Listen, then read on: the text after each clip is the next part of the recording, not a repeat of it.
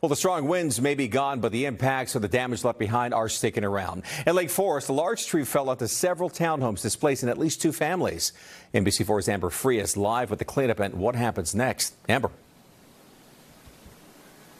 Hey, good afternoon. Well, the tree fell yesterday morning, but the cleanup continues out here. Crews were out all morning long working to remove the tree, and they were able to do that. Now they have most of it chopped up on the side, as you can see. Now, we did get some rain just a few minutes ago in the area, so it's unclear how that will impact the cleanup efforts.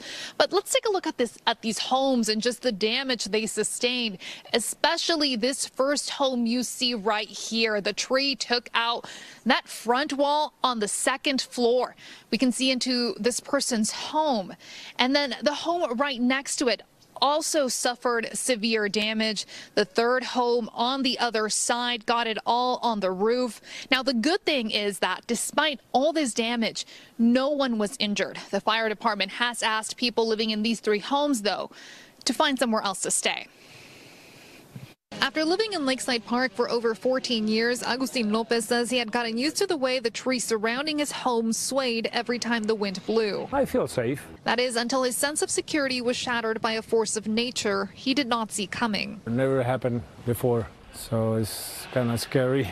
On Wednesday, gusty winds brought down at least two trees in the Lake Forest neighborhood, one of them falling over Lopez's town home and two others. I laid down and uh, all of a sudden uh, things started to fall down the, from the walls and uh, shaking a lot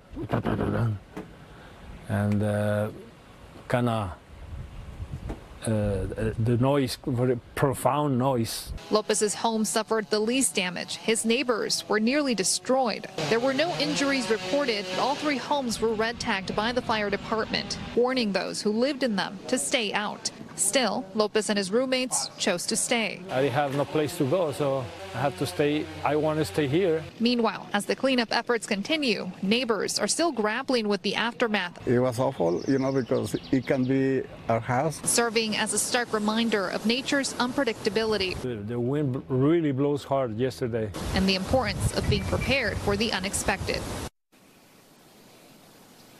Now, Lopez rents the townhome he's currently living in, and he tells us the owner uh, has told him that he's informed the insurance and that they're just waiting on next steps.